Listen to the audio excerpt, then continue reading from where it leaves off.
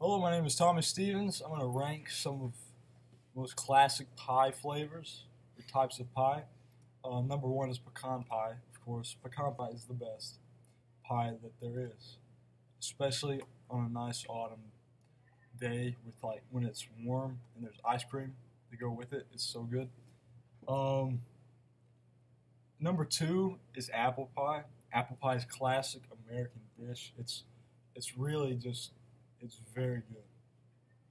Number three, can I get some suggestions so I can see if they're Mm, the pumpkin pie. pumpkin pie. Pumpkin pie. I love pumpkin pie. It reminds me of autumn as well. It's pecan pie.